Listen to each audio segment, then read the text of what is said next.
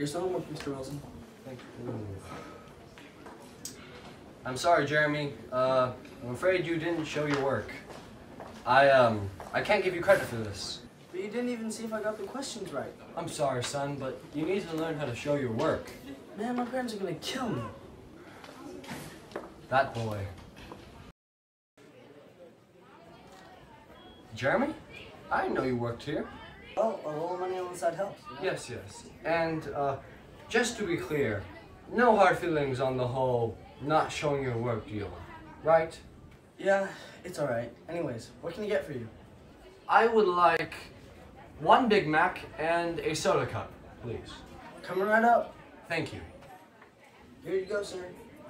Thank you, son. And, uh, uh, I'm afraid I can't eat this. Oh, is something wrong with the burger? Well, yes. Um, you didn't show your work. What? And at your job, no less. No credit. Have a nice day. Hmm.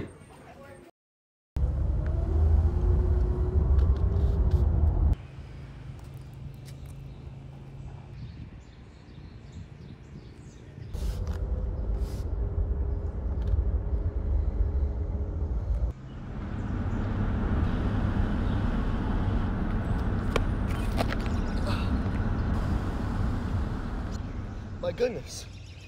Jeremy, you saved my life. Yeah, I, I guess I did. How did you do it, son? I don't know. My body practically moved on its own. No, son. Where did you show your work? What? Oh, you can't show your work? No credit.